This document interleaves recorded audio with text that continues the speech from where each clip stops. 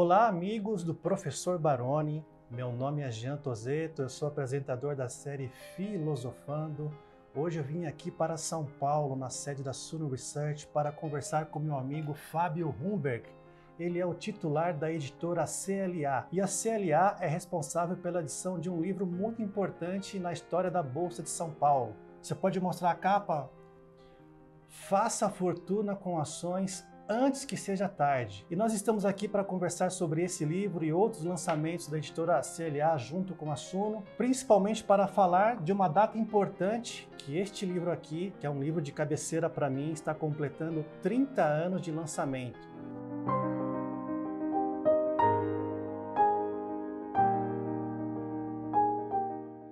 Fábio, a primeira pergunta que eu vou fazer para você hoje é para você explicar o que é a sigla CLA. Na verdade, essa sigla é uma sigla que foi perdendo significado ao longo do, dos anos. Né? Hoje a gente é, trabalha com comunicação, letras e artes como significado dela, que são três ter termos que têm tudo a ver com livros. Né? E a sua formação é na área, né? Você estudou na USP. Eu estudei na USP, eu fiz letras, mas cursei economia na PUC também. Então eu tenho uma formação, vamos dizer, variada. Também fiz curso não concluído de história na USP.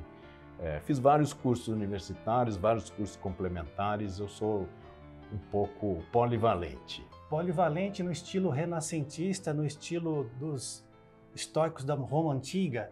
E, e essa sua bagagem que você foi acumulando ao longo do, dos anos ela foi fundamental para você se tornar um editor de livros na área de finanças, porque você tem que ter um conhecimento geral para poder avaliar aquilo que o autor escreveu. Na verdade, o editor, ele é um pouco um generalista. Né? A gente trabalha com muitos temas, com muitos autores diferentes, com muitos estilos diferentes. E o trabalho do editor, ele se assemelha um pouco ao trabalho de um curador, né?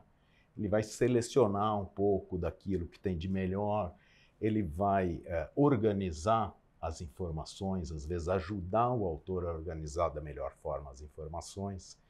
Então, é, para que o livro chegue da melhor maneira ao leitor, né? porque na verdade o livro sem o leitor ele não, não tem significado. Ou seja, o trabalho do editor ele é fundamental na nossa sociedade pós-moderna, porque hoje nós temos informações difusas em qualquer tela de celular que você abrir, em qualquer tela de televisão e mesmo no laptop, você tem acesso a uma infinidade de informações, mas é uma avalanche de imagens e de textos que às vezes fica difícil para a gente saber selecionar aquilo que tem uma boa procedência daquilo que não tem, aquilo que é correto daquilo que é inventado.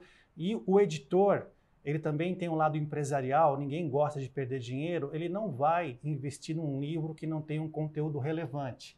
Ele precisa selecionar muito bem aquilo que será impresso e distribuído para que esse livro tenha uma longa jornada, uma longa, trajetória no mercado editorial. E nesse ponto, esse livro do Deste Bazin é um grande sucesso porque são 30 anos sem interrupção de vendas.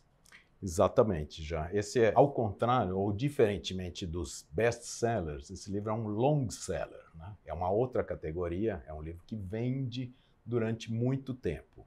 Que é a mesma característica que a gente enxerga nos livros que surgiram dessa parceria com a Suno. Né?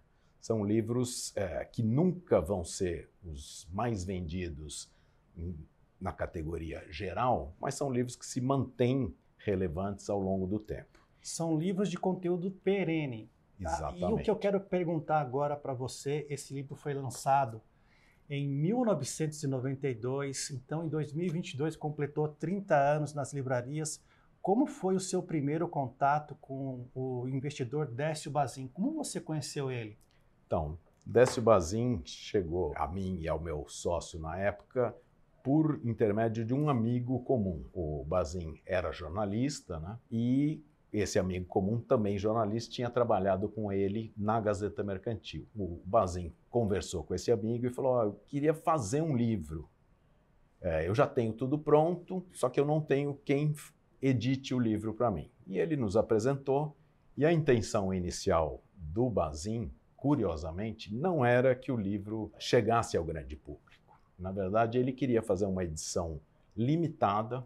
Ele chegou com a proposta de fazer apenas 10 a 20 exemplares que ele queria distribuir para os seus familiares, suas filhas, seus netos, alguns amigos próximos e só. Na verdade, quando ele chegou com essa proposta, eu falei: é possível. Na época não era tão uh, viável você fazer livros com pequenas tiragens, mas nós olhamos e falamos: é um desafio, mas dá para fazer. Acontece que quando ele nos entregou os originais, ainda datilografados naquela época, nós começamos a ler e achamos o conteúdo super interessante. Então tratamos de convencer o Bazin que aquele livro tinha um potencial e tinha um interesse público enorme. Se você leu Faça Fortuna com Ações, se você já se tranquilizou com o conteúdo desse livro para assumir uma postura de longo prazo, de comprar empresas que pagam dividendos, se você já alcançou a independência financeira em função de ter lido esse livro no passado, nós temos que reconhecer que você tem méritos nessa história. É, o mérito foi simplesmente é, entender que ali existia um conteúdo que tinha valor para muita gente. Né? Na verdade, é, foi um livro que a gente teve pouquíssima intervenção. O Bazin era um cara assim, muito analítico, tinha uma capacidade analítica muito boa e escrevia muito bem. Não tinha erro de revisão. Ele uh, entregou perfeito. Mandamos para o revisor, não veio nenhuma anotação. E porque ele tinha uma experiência como jornalista, ele escrevia para a Gazeta Mercantil? Na, na ocasião, o jornal econômico que existia, que era relevante no Brasil, era a Gazeta Mercantil. Ele escrevia sobre o mercado uh, para a Gazeta Mercantil e também para a revista Balanço Financeiro que era uma revista importante na Também época. Também era uma revista importante na época. E ele começou essa colaboração desde o final dos anos 70, começo dos anos é, 80. É uma, é uma coisa bem antiga. Na verdade, ele já tinha um acervo de publicações uh, de longa data, cobria a Bolsa há muito tempo. E, ao cobrir, ele também foi desenvolvendo uh, as suas formas de investir. Né? É, leu muita coisa, se aprimorou, era um cara estudioso, gostava uh, de estudar, de ler, de entender melhor sobre aquilo que ele estava falando. E, portanto, ele... ele era um investidor bem sucedido e que usava suas publicações regulares para difundir a sua estratégia de dividendos muito antes desse livro ficar pronto, porque esse livro reúne alguns dos seus melhores textos nos quais ele já fazia essa abordagem publicamente. Nesse sentido, a gente pode dizer que o Décio Bazin ele é um pioneiro no Brasil da defesa da estratégia de investir em renda passiva.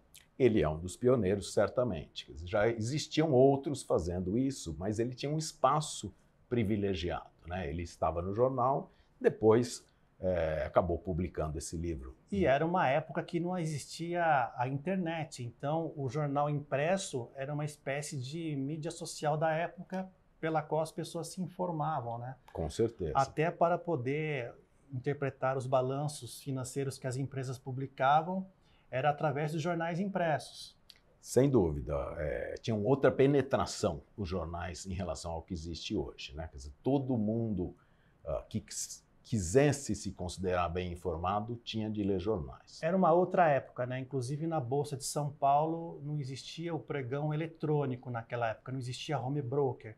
O que existia era o pregão presencial lá no centro histórico de São Paulo, onde o investidor que morasse em outra cidade tinha que telefonar para o, um agente de ordens, né, para ele poder é, apregoar é, a, a, ordem presencialmente lá no aquário da Bolsa de São Paulo.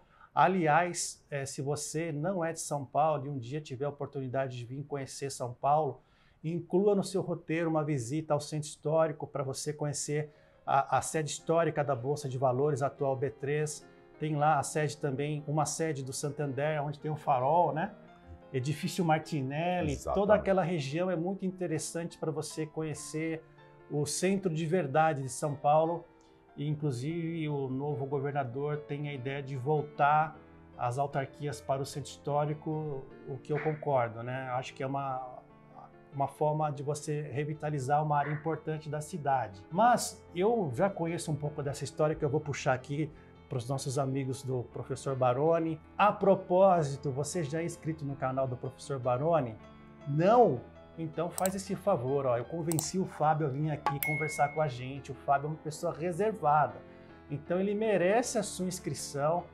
Ativa lá o sininho para você receber as notificações. Se essa conversa ficar muito comprida, a gente está aqui com a Gabriela, ela vai repartir esse vídeo em duas ou três partes para você receber conteúdo de primeira.